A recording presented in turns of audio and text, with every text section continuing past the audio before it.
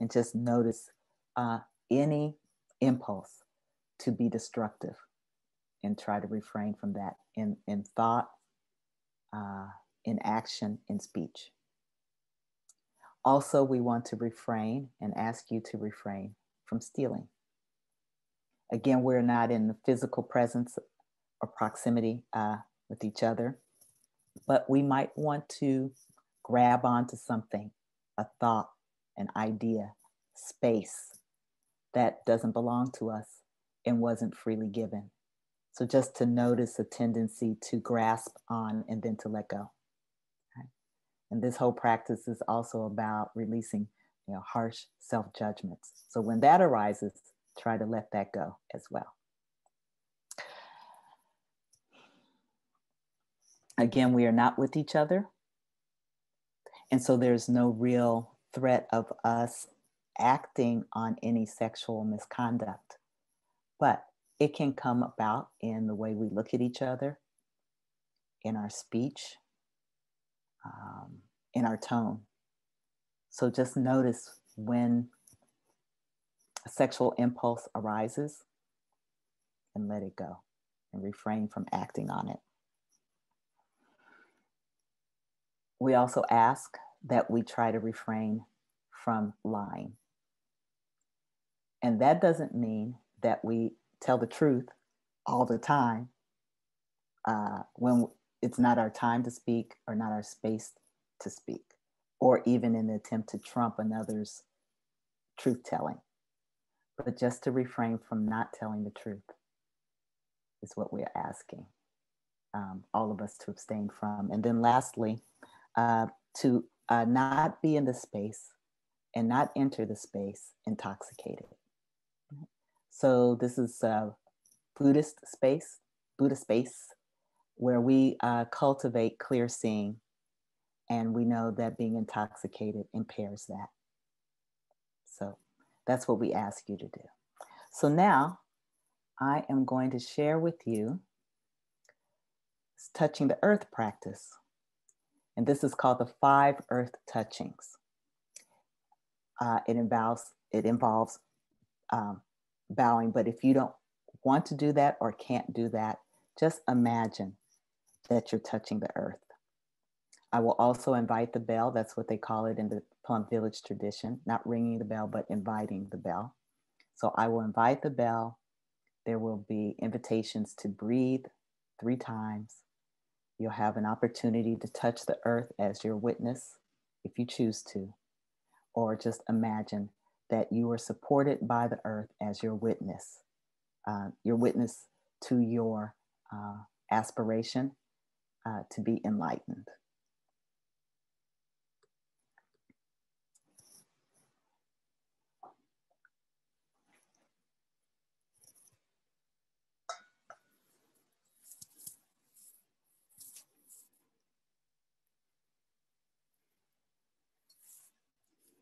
So it begins with this statement In gratitude, I bow to all generations of ancestors in my blood family.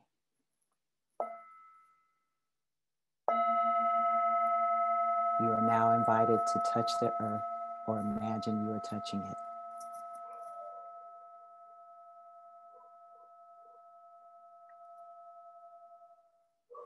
I see my mother and father whose blood, flesh, and vitality are circulating in my own veins and nourishing every cell in me.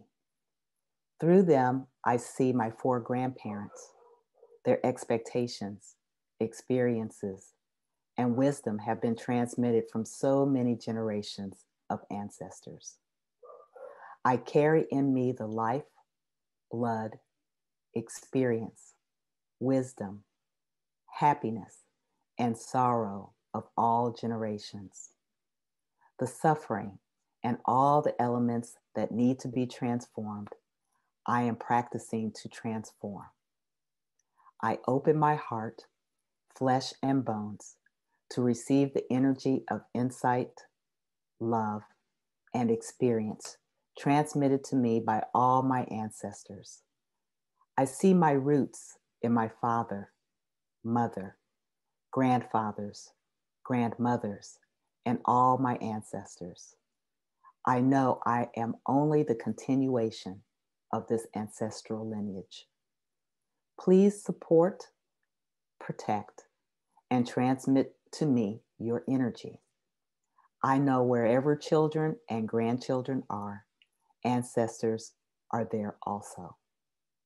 I know that parents always love and support their children and grandchildren, although they are not always able to express it skillfully because of difficulties they themselves encountered. I see that my ancestors tried to build a way of life based on gratitude, joy, confidence, respect, and loving kindness. As a continuation of my ancestors, I bow deeply and allow their energy to flow through me. I ask my ancestors for their support, protection, and strength. Please take three breaths.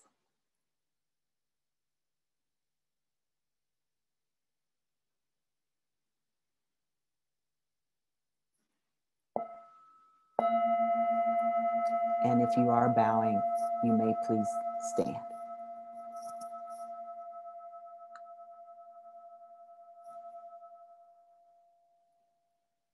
In gratitude, I bow to all generations of ancestors in my spiritual family.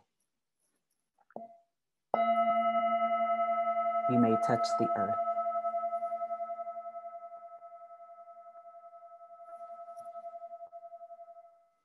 I see in myself my teachers, the ones who show me the way of love and understanding, the way to breathe, smile, forgive, and live deeply in the present moment. I see through my teachers, all teachers over many generations and traditions, going back to the ones who began my spiritual family thousands of years ago. I see the Buddha or Christ or the patriarchs and matriarchs as my teachers and also as my spiritual ancestors. I see that their energy and that of many generations of teachers has entered me and is creating peace, joy, understanding, and loving kindness in me. I know that the energy of these teachers has deeply transformed the world.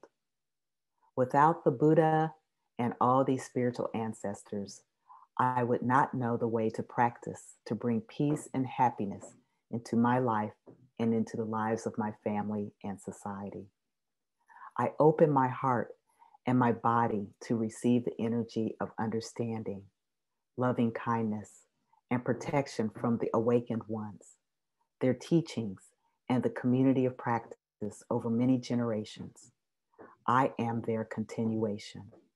I ask these spiritual ancestors to transmit to me their infinite source of energy, peace, stability, understanding, and love. I vow to practice to transform the suffering in myself and the world, and to transmit their energy to future generations of practitioners. My spiritual ancestors may have had their own difficulties and not always been able to transmit the teachings, but I accept them as they are. You're invited to take three breaths.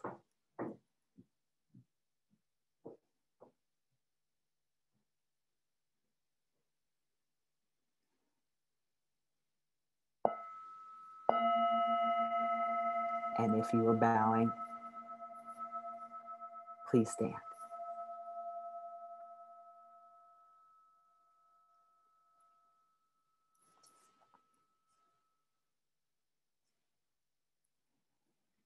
In gratitude, I bow to this land and all the ancestors who made it available.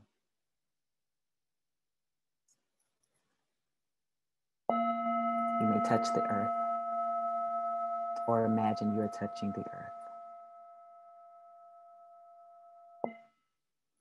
I see that I am whole, protected, and nourished by this land and all the living beings who have been here and made it and made life easy and possible for me through all their efforts. I see Chief Seattle Dorothy Day, Cesar Chavez, Martin Luther King Jr., and all the others known and unknown.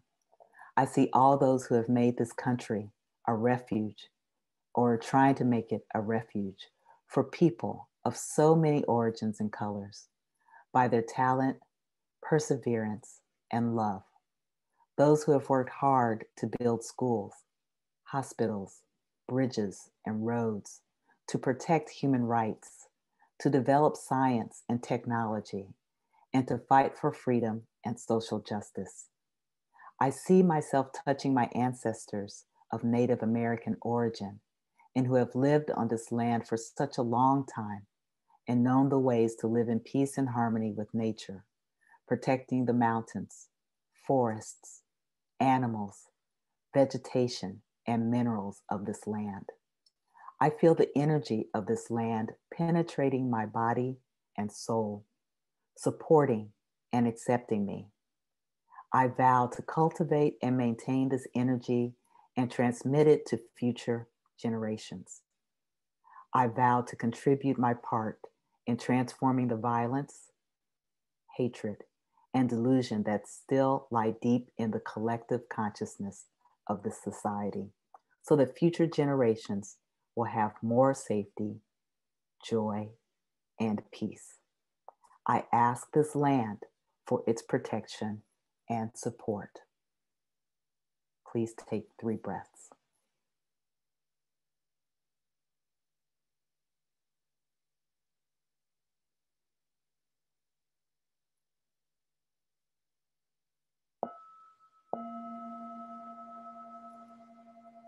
And if you are bowing, please stand.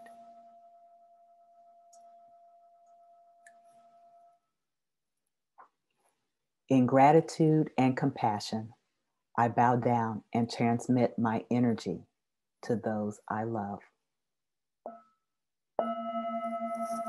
You may touch the earth.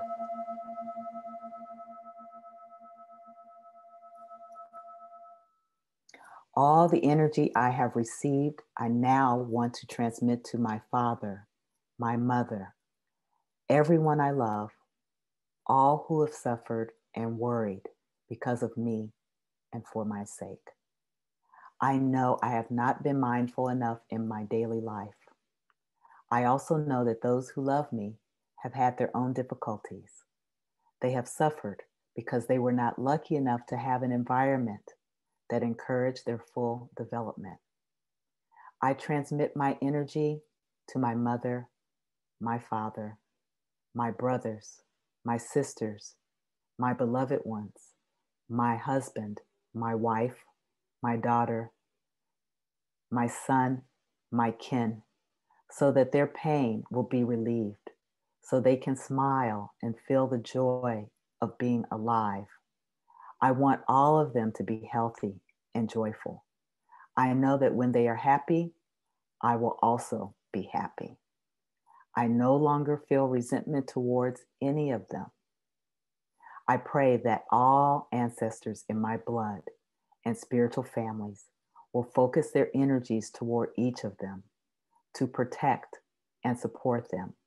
I know that I'm not separate from them. I am one with those I love. Please take three breaths.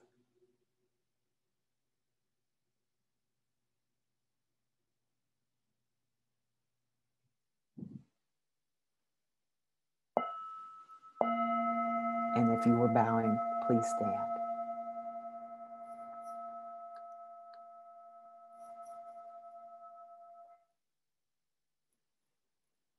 In understanding and compassion, I bow down to reconcile myself with all those who have made me suffer. You may touch the earth.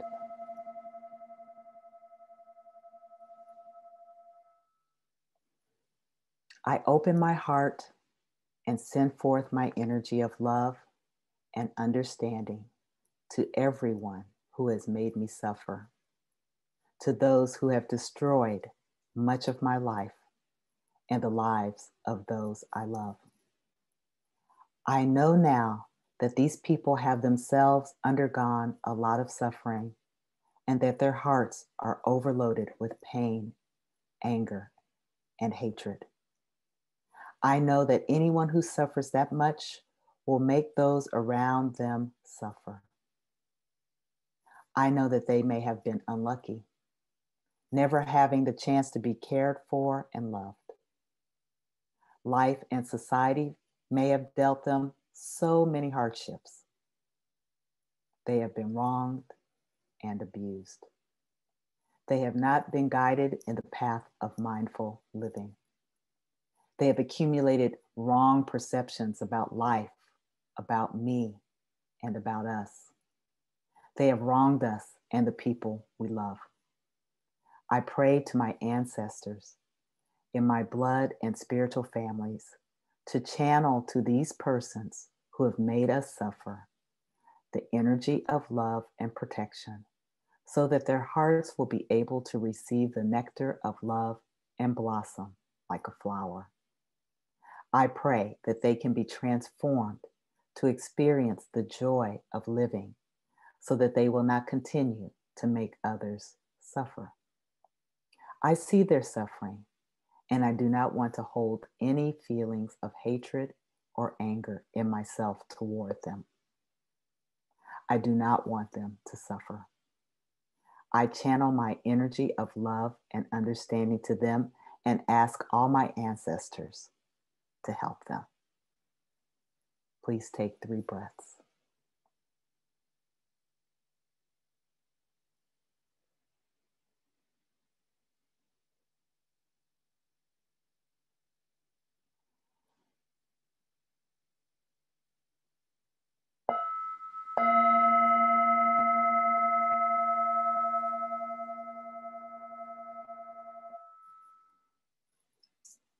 If you are bow, bowing, please stand as we bring this practice to a close.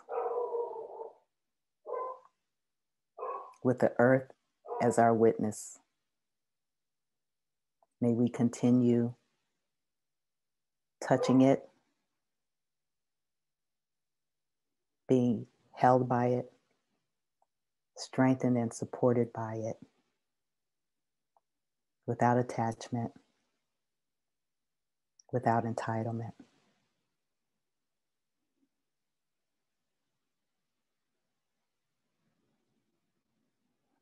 In appreciation for how the earth supports our living.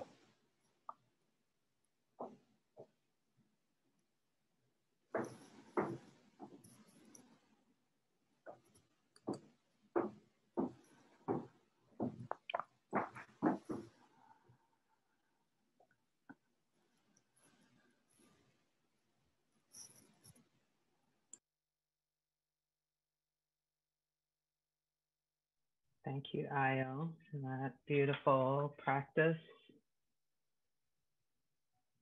Let's sit together. We'll have a short sit. We wanted to uh, preserve as much time as possible to share with one another. So we'll sit for about 10 minutes. I think um, we can sit in silence together.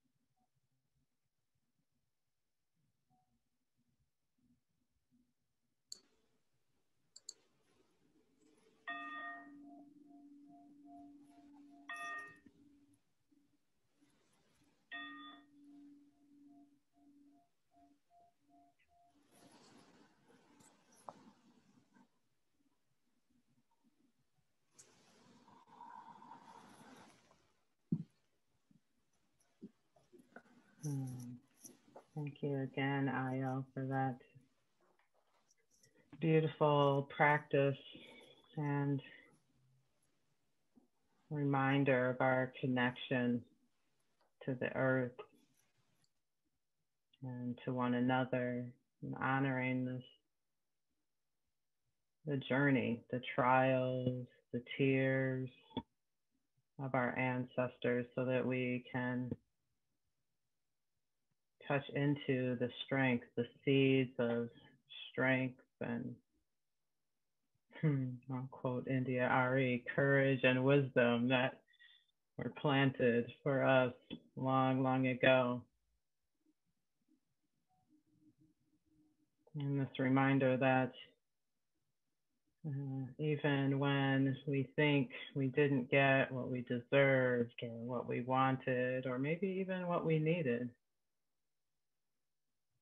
but perhaps the intention was still there, care is still there,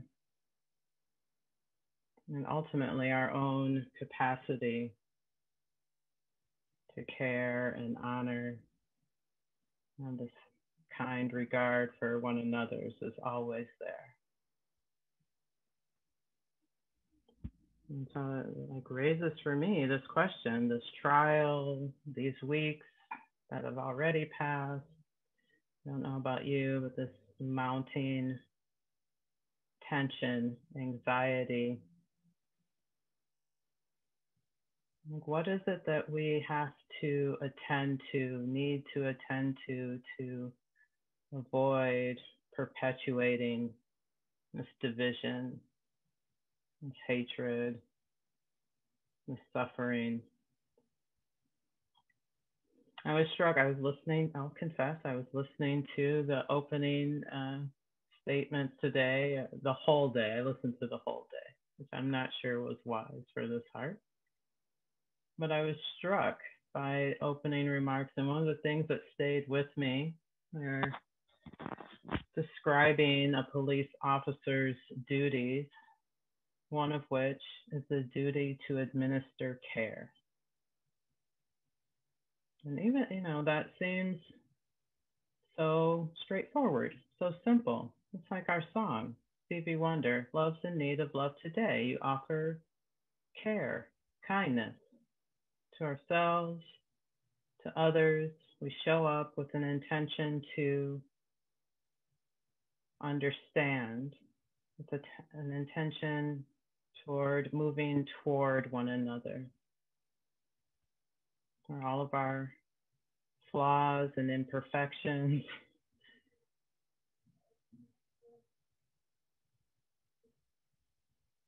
Yeah, without expectation that it will turn out in any particular way, without expectation that we will get what we want or think we deserve. But because showing up this way frees this heart from hatred.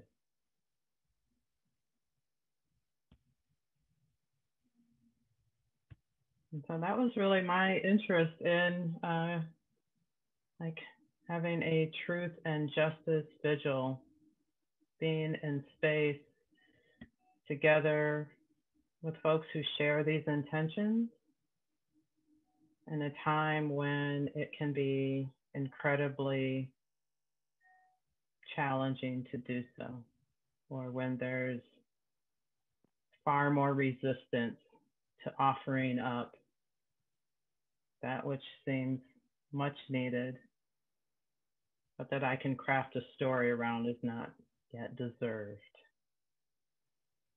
or that somehow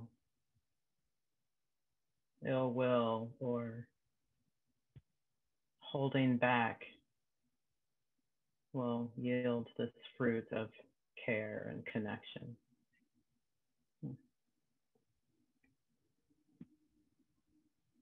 Hmm. So I don't want to take up a lot of time because we only have a little bit of time. And I know that we want to also be able to hear from you all. We're showing up with open hearts, or maybe you're noticing a closed heart, a tender heart.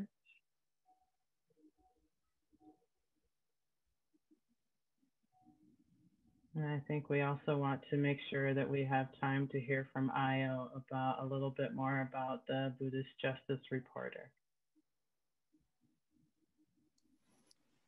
Thank you. How about first we, um, people have something to say, we might need some, some additional rules of engagement because we didn't know the number of people who would be joining us this evening. We see 90 people. and we know all 90 people have some kind of feeling about about all of this.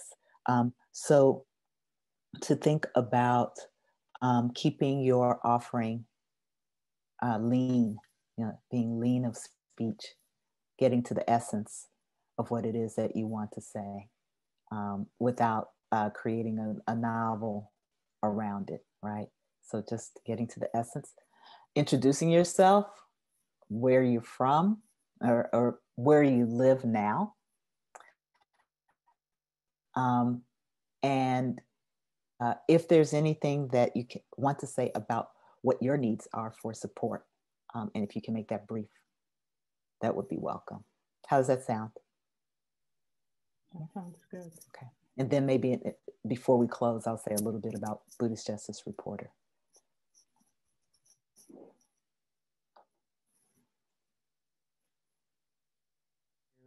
naming that and bringing that into the space.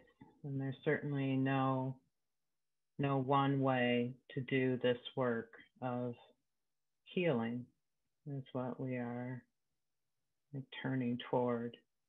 And there's certainly value in BIPOC having space to do that on our own, and white folks having space to do that on their own. And ultimately, we come together to unravel this ball of hatred and fear that has been cultivated in this country for many, many, many generations. And it doesn't happen in over the course of one trial, or we can fully expect not even the course of one lifetime but each of our really courage to show up flawed and imperfect with this intention of turning toward care, not harming, listening. It's almost all we have right now as a path forward. Right? Throw on a little dash of forgiveness too, right? Because we will there will be missteps. We will get it wrong. And we keep showing up. So I, I appreciate you naming where it's difficult. That has to be, that gets to be part of the conversation too. Just because we all showed up in the space doesn't mean it's easy. It means we want to be here and do this work. and that we can hold one another as we flail about or stumble about or rage or whatever it is, however we show up, whatever is moving.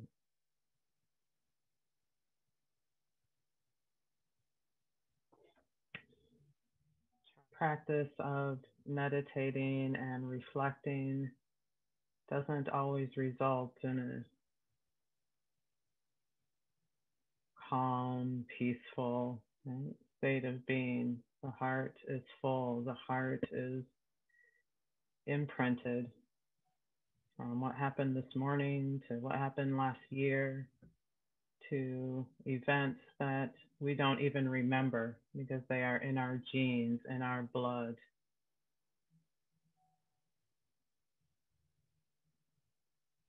And so we practice opening to not knowing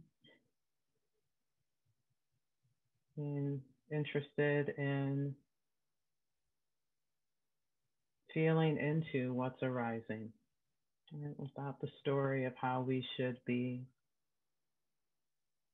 It's a good Buddhist or a good black Buddhist or whatever the, the constriction is that we've created right? or that we've bought into. And can we learn to be with one another in this un, unchartered way? Sitting with our own intense emotions, sitting with others who are having intense emotions and not taking it personally.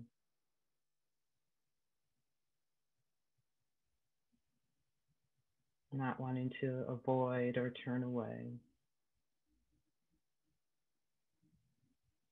To be interested in all of the causes and conditions that got us right here to this moment.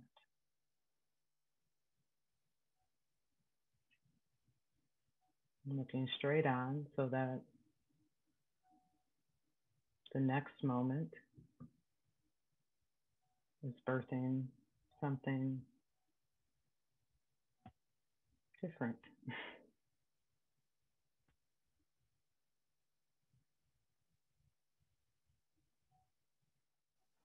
one of the things that I hope will that we'll be able to support each other with um, if we choose to do this is the the reminders to uh, live nobly while all of this goes down you know to live nobly because um, we're going to see if we haven't seen already some uh, pages from uh, old playbooks um, that lead to acquittals. I don't know what the outcome for this trial will be, but the playbooks are there. For example, focusing on uh, the past, someone's past actions, to to stir up the uh, the belief that this person deserved what he got, and at Duke University, um, which is known um, for a lot of racist things, um, positive things too, but also known for a lot of racist things. I can't tell if I'm frozen or if you all are frozen. Can you hear me? Yeah. okay. um, a toxology report on George Floyd was shared, posted at Duke University um, to demonstrate that he was high um, at the time of his arrest and that he really died not not because he was choked to death but because he was on drugs and he deserved to be arrested and killed. And so that's an old that's an old page from an old playbook. And so when we receive you know when we're observing these things uh, these um, the absence of love to put it this way the absence of love how how do we employ our practices to to live nobly? I personally know that i will benefit if I am practicing with a Sangha that has that same aspiration. So that's why I'm here. And I hope that you will um, support me in that aspiration, that I can. Hmm, that you will help me notice when I'm closing down to creativity. Because I, you know, I think about, well, I won't go into, I won't go that deep into it, but sometimes when we act destructively, it's just because we're at our wits' end about how to be creative.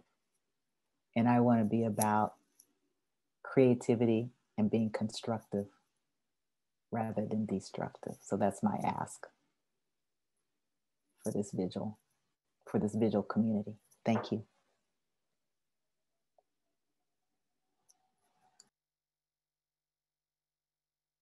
Thank you. That's part of the the thing that that uh, looks like the final thing that lights the match, that blows things up, is well, I saw what happened, right? I saw what happened.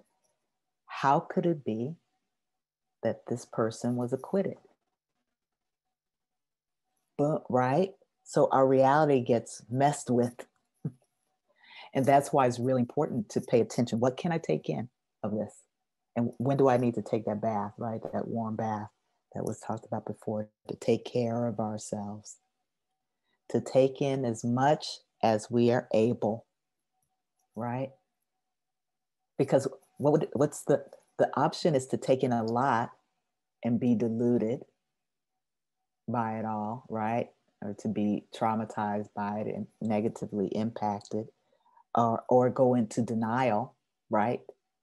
So you've taken it all in and none of it, none of it penetrated, or to take in just a little bit and have that little bit of truth.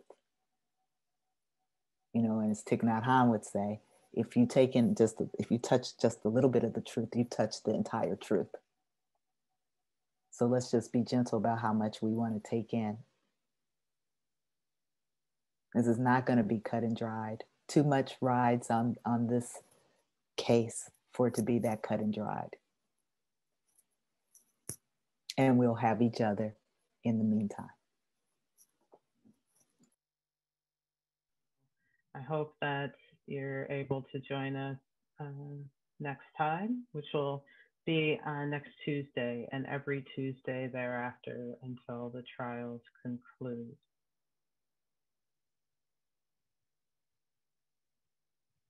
Ayo, do you want to give a 30 second BJR? okay, time me. Time me. Um, so, in essence, this trial is an international uh, sensation, if you will. The world responded when George Floyd was tortured and murdered. That's the way I put it tortured and murdered. The world responded because the world knows about police brutality. This is not just a United States phenomenon. It does play out differently here than it does in other places. But yeah, it's about the abuse of, of governmental power. Buddhists largely have been you know, struggling around uh, justice. Um, is that what a Buddhist does? Does a Buddhist uh, pursue justice? You know, ambivalence around it and so on. So, in short, a group of us got together and said, uh, We've been impacted by this. Um, we want to respond to it from the place of our, of our practice. Uh, we created um, Buddhist Justice Reporter, the George Floyd trials. It's supported by Tricycle, the Buddhist Review, um, the Kataly Foundation, and Common Ground Meditation Center. You can learn more about it by visiting um, our website, BuddhistJustice.com, where um, maybe within, it only gets updated once a week. It's all volunteer, only gets updated once a week. So this practice, uh, touching the earth practice, may not appear immediately, but it will be on the website.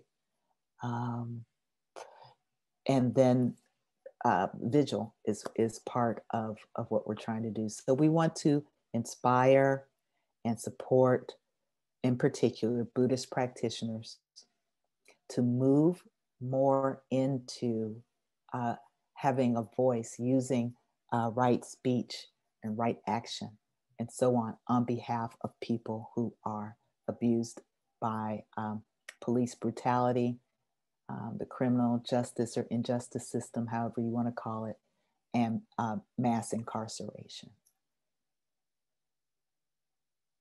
through what we do already, which is Buddhist practice. Thanks, Ayo. Uh, thank you, everyone, for joining us tonight. Um, just a, a, word that uh, Common Ground has been a tremendous support for this vigil. and uh, Buddhist Justice Reporter. And uh, if your heart is so moved, you can be a tremendous supporter of Common Ground Meditation Center. We are an organization that operates solely on the generosity of people just like you. Um, so when we were in person, we'd say you could come clean, you could cook for retreats, and now we're we're all in little squares and there are still operating expenses uh, to be able to support Sangha in even more pro programs than we had prior to the pandemic. So please visit the website, commongroundmeditation.org, if you are able and so moved to support the organization. Uh, any offerings, two thirds of any offerings go to the uh, guest teachers, and then we retain one third for operations for the center. Hmm. So, ah, thank you all so much for your practice.